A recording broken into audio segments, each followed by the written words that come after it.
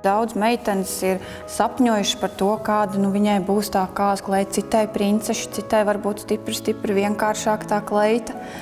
Tas kaut kas īpašs arī tas, ka daudz meitenes nerāda tās savas kāzas kleitas līgavainiem, un tajā kāzu dienā mm, līgavains viņi ieraug tajā kleitā. Nu, tas, man liekas, ka tas ir ļoti, ļoti īpaši, tā kāza kleita. Meitenes bērnībā sapņo kļūt par princesēm, velkot mammas augstpapēžu kurpes un terpjoties skaistās kuplās kleitās.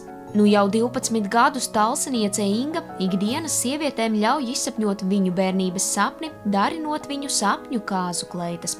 Bez akadēmiskām zināšanām, tikai ar vēlmi to darīt, viņa izpētīja, kā tika šūta viņas tolaik veikalā pirktā kāzu kleita, nopirka audumus un eksperimentējot sāka šūt. Vīlīte pēc vīlītes, katra pērlīte pie pērlītes un pirmās kleitas bija gatavas, un nu jau pēc 12 gadiem Inga vairs nespēja saskaitīt, cik līgavas ietērtas viņas darinājumos. Lai gan šuvēja sarodu viņa neatceras kā savu bērnības sapni, tomēr jau no mazotnes viņai patikuši dažādi rokdarbi šūšana, izšūšana. Es jau 6. vai 7. klasē jau arī zīmēju jau kleitas īstenībā. Tā, tagad tā sāk domāt zīmē, bet man nav nekas no to visu saglabājies.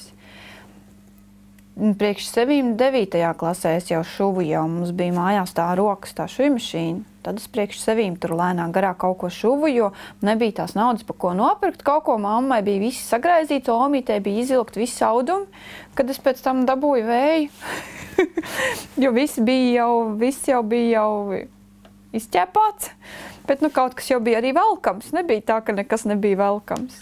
Kā tev maiturībā skolā taču arī bija jāšķiet? Maiturībā man bija desmitnieki, deviņnieki un desmitnieki, jo es biju vienmēr visu mājās izdarījusi. Bija jāšķiet priekšautiņi, es biju kaut kāds trīs uzšuvus, man liekas. Tos priekšautiņus ar visiem izšuviem. Man ļoti, ļoti patikās maiturība, viss tā knibināšanās, jo tajā laikā jau nebija tie telefoni un tādas lietas nebija. Un uh, tad, nu, ko darīs mājās, neko citu. Ziemā ārā arī nu, augsts. tad labāk istabā, un tur kaut ko knibinājās gan ar adatām, gan ar tiem diegiem. Es zinu, ka mana omīte īpaši priecīga nebija, kad es tur atkal visu viņai biju izvilkusi. kaut kas bija atkal jau paņemts. Meklēju pēc tam. Man meita piedzima lielā. Un tad, eh, tad, tad tēvs nopirka to vienu šī mašīnu, lai tas tā kā kaut ko mēģina darīt. Nu, tad es tam bērnam pašu bija tie mēģinājumi vēl eh, tur sievietēm augšņas, es tā kā mēģināju šūt, bet tas man kaut kā neaizgāja arī īpaši. Tā varbūt neērti bija arī tā bāzties kādam virsū un piedāvāt. Nu, arī nebija tas internets arī tad. Nu, tad, tad jau tas viss bija bišķi savādāk tajā sākumā. Un, un, un, un tas jau rēķina 17, 16, 17 gadus atpakaļ. Bija. Un tad tā atmeta roku un aizgāja atpakaļ uz bāru strādāt. Neko tā arī vērtīga pieredze ir strādāt ar cilvēkiem. Tas jau arī ir daudz ko iemāca. Mm -hmm. Tas jau ir daudz. Un tad pēc tam iepazinos ar vīru. Kad ar vīru iepazinos, piedzima pirmais kopīgais bērns, tad pēc tam bija otrs kopīgais bērns Nu, pirms tam vēl apprecējāmies. Un, e, pēc to otro es no bāra, nu, kad es e, otro kopīgo gaidīju, tad e, aizgāju tā kā no bāra projām. Piedzima mums Jānīts, un tad nezinu, kur man tā doma uzrādījās. Vienkārši tas, ka pierast pašam pie savas tās naudiņas, kad visu laiku pati pelna to naudu, ka tev ir, ka tev nav nevienam jāprasa bija kaut kāda lieka naudiņa, nopirka, nopirku tos pirmos audumus un uzreiz jau tās kāzas kleitas sāku šūt. Pirmās trīs, četras, neatceros pat īsti, cik sušu. Ieliku tālsu vēstīs sludinājumu, ka man ir tās kleitas. Un pirmajā mēnesī man jau vienu nopirka.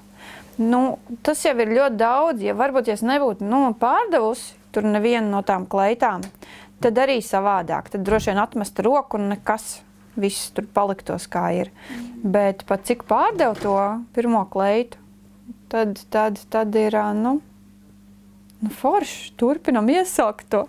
Bet kā tu uzreiz tā vienkārši izdomāji, visas tagad šūšu kāžu klei, kāzu kleitas un viss? Nu, jā, nu sāk tīri tā ar kāzu kleitām, jā, te, tā arī sāk. Vau, man bija tā mana kāzu kleita, no ko paskatīties, kā viņa tur īsti ir šūta, jo tā bija pirkta tā kāzu kleita. Uh, kā, viņ, kā tas viss tur ir darīts un šūts.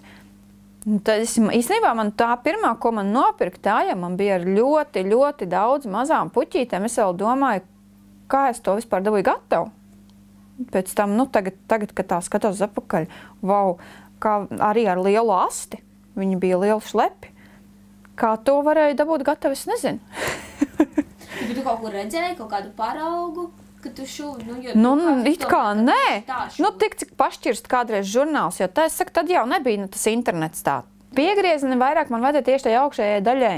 To apakšējo daļu es vienkārši griezu. Es nezinu, ka vienkārši griezu ārā un viss. Un tā augšējā daļa jau arī tā kā pieveidoju un viss, jo man pat nebija manekens tad. Tas viss notika tā, nu, tā kā jāsaka, uz dullo. Te pirmie divi gadi bija tā, tā kā bija, nu, tad ir, tad nav, tad ir, tad nav. Tad liekas, ai, varbūt nešūt vispār vairāk. Bet, bet eh, tad sākās, eh, tad es vienu brīdi daudz ņēmu cauri pavasaros tās izlaiduma kleitiņas. Uz tām tagad saka, piešāva roku bišķiņu, jo, nu, tur ir atkal arī pārsvarā visām gribējās tā kā korsetītes stingrās, tur tavs veidojums visur virsū. Bet nu, tagad ir tik tālu, ka es vairs nevaru krāsainās, nu, neņem vairāk. Man vienkārši nesanāks laika tam visam. Bet kur tās idejas? Idejas meit, meitenēm jau pašām savu vīziju jau apmēram ir. Viņām jau kaut kādas tās bildes jau ir sameklētas, ko viņas apmēram vēlās.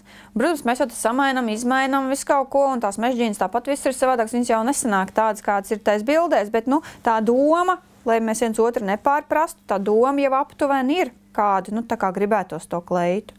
Jo parasti ir, ir, ir tā, ka, bet ir, kad arī nav vispār nekādas domas, un tad mēs kaut ko kopā mēģinam izdomāt, zīmējam, Nu, tā zīmēšana man ļoti, ļoti labi nesanāk, bet nu, zīmējam. Jo var jau izmainīt. Tos pašus izgriezumus var izmainīt. Jūs taisat vēvēt, viņu var uzpārtaisīt arī tā, ka viņš ir pilns pēc tam.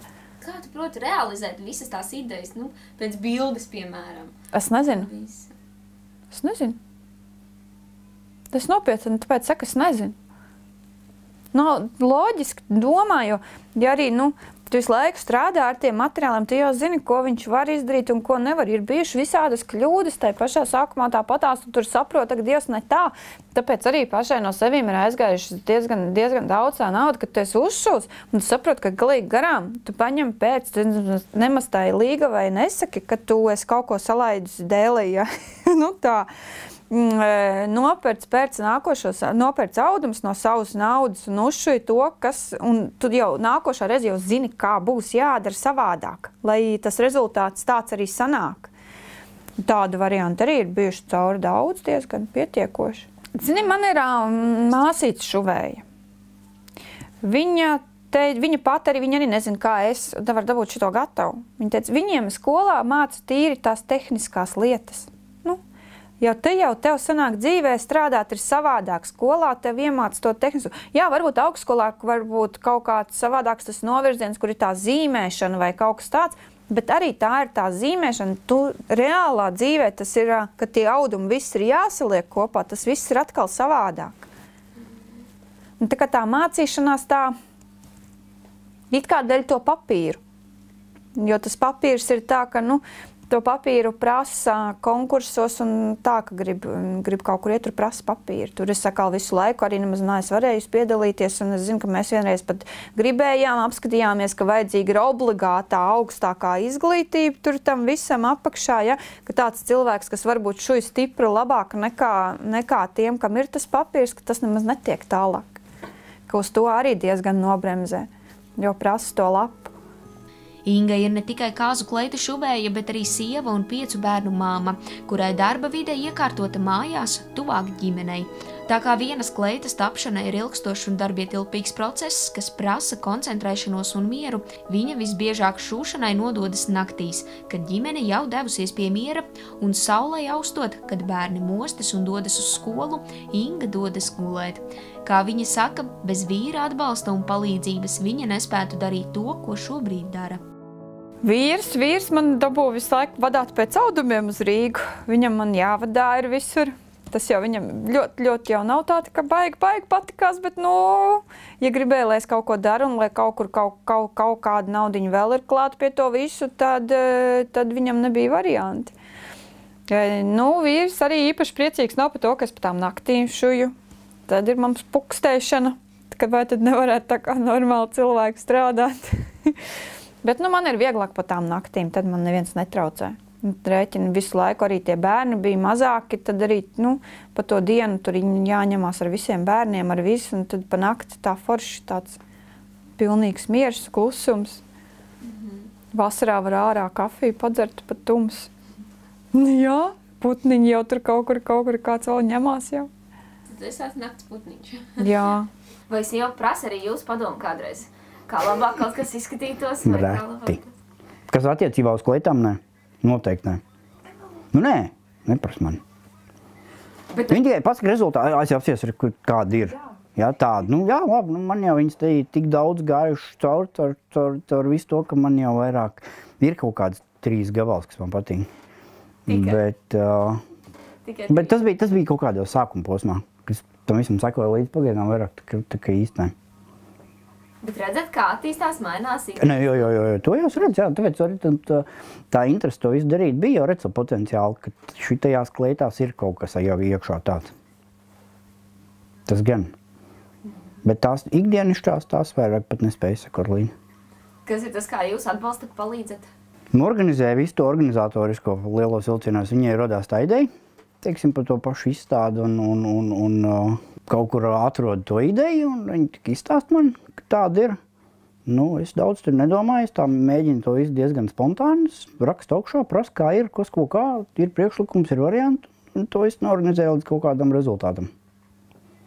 Nu, protams, tur pakonsultējās pa vidam, bet nu, tā lielos vilcienos, principā, nu, es mēģinu to visu organizatorisko dabūt gatavu. Nav grūti to tādu, nu, kāzu klaids. Man tā patīk.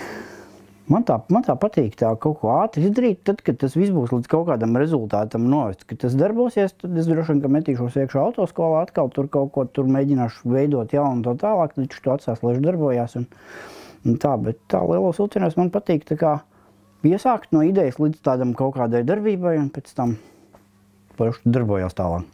Tad vairs nav interesanti.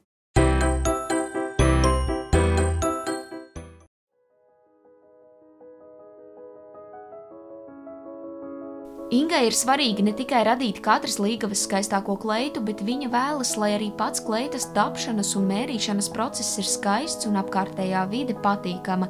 Viņai ļoti svarīgi ir izveidot draudzīgas attiecības ar topošo līgavu. Mēs esam, nu, kā teikt, manā kāzu kleitu šūšanas darbnīcā, salonā top.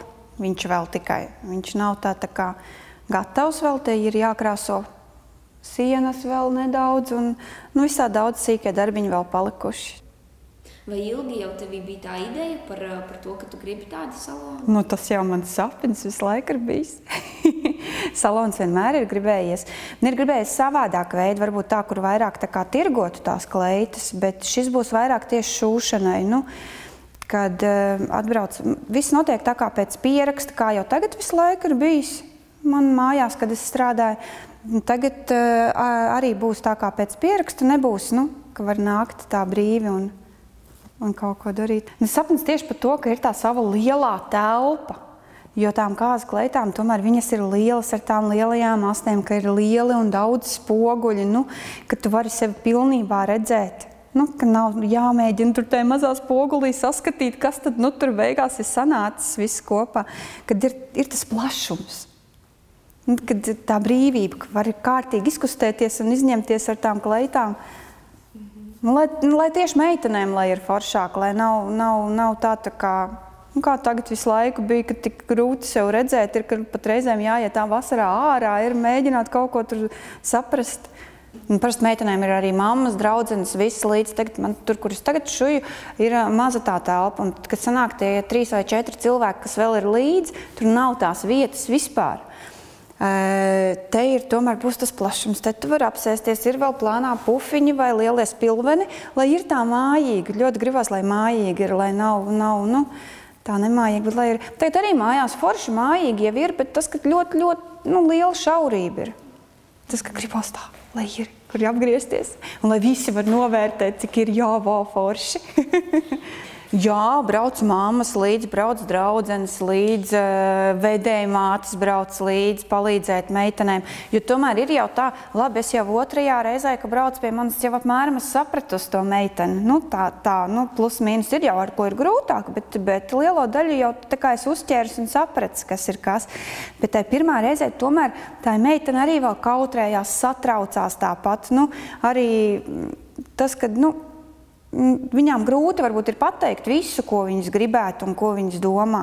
Tāpēc es mēģinu uzreiz uz tu, lai ir nu, tā drošāk un nu, nu, tā, tā kā savējiem, kā runā. Tā man patīk tas, kad var uzreiz tu, nu, tā kā draudzenes, lai viņi arī var pateikt, jo ne jau es to kleitu vilkšu, viņa jau vilks, un galvenais, lai viņa pasaka, kas viņai patīk un kas viņai nepatīk, jo noārdīt nost, pielikt, pārveidot jau var. Nu, to var viss izdarīt. Nekas nav līmēts, viss ir ar rokām piešūts klāt. Viss tāpat tie ziediņi, viss, viss ar rokām ir. Viss mežģīns ir izgriezts, smalki piešūts ar rokām klāt. Bet, ja nepatīk, vajag uzreiz pateikt. Var izmainīt, viss var izmainīt. Vai ir bijis tā, ka tās, kas atbrauc līdzi tā komanda, vai kāds, piemēram, pasaka, nē, tu to nevilksi, vai, vai tas ir garā, vai nu tā? Nu, ir reizēm, kad ir meitenes vai mammas jānobremzē bišķiņi. Ir tā arī ir. Ir reizēm, kad atbrauc mamma un es sāku vairāk mammu klausīt, nevis meiteni.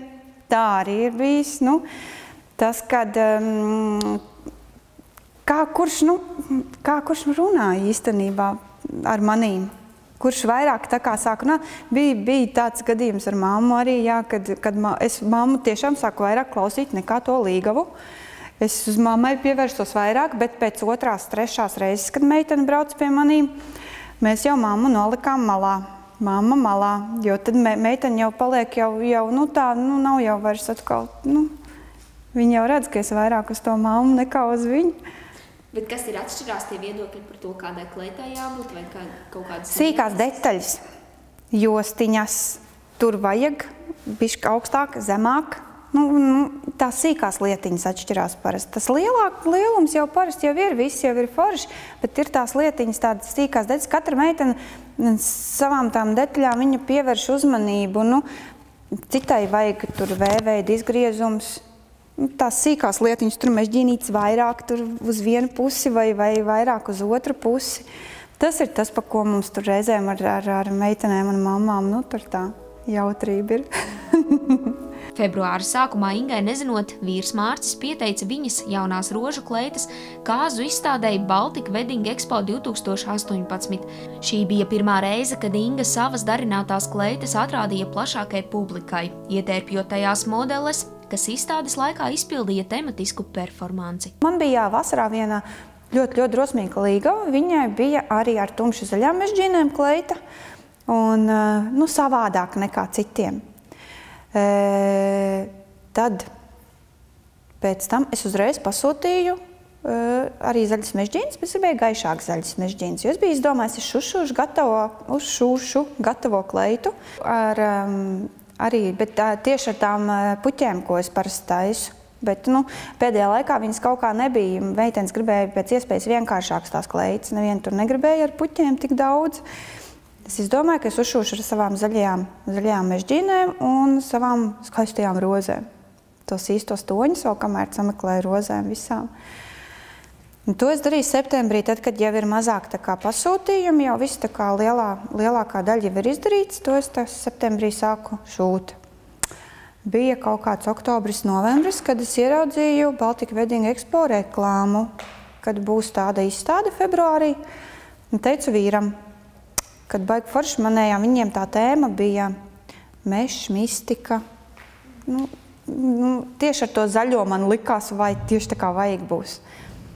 Un vīrs bija pakluso, viņš bija, mēs jau tikai savā starpā tā runājāmies, bet viņš bija pakluso, man pieteicis, tā kā sarunājis, visu sarakstījis, aizsūtījis bildi, un viss jau nokārtojas man aiz muguras. pārsteigums liels. Jā, tas bija man tāds pārsteigums. Viņš man vakarā saka, zini, tev tur būs 10. februārī jāpiedalās. Beigās kopā man bija tā kā sešas kleitas uzšūtas, jo bija domāts, būs uz pakarnāmiem. Pēc tam sapratām, ka uz pakarnāmiem tomēr tā kleita nav tik skaista. Tad uh, bija tik, cik uz tām modelēm virsū tās kleitas. cik es arī paspēju uzšūt. Jo tas materiāls, nu, tas jau nav tik ātri, tas ir ilgi. Tomēr man jau bija vairākas kleitas, kas bija.